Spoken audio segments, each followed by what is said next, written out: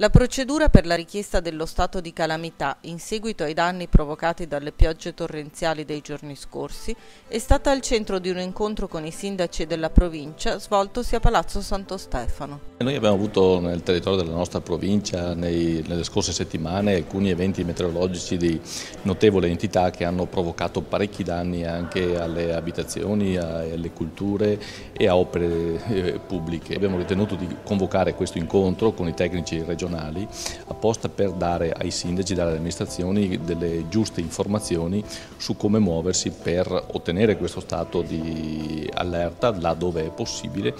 Quindi oggi è una, un incontro operativo soprattutto di chiarimento e di precisazione su quelle che saranno le procedure. Il vero problema è quello di rendere eh, e mettere in evidenza come l'assetto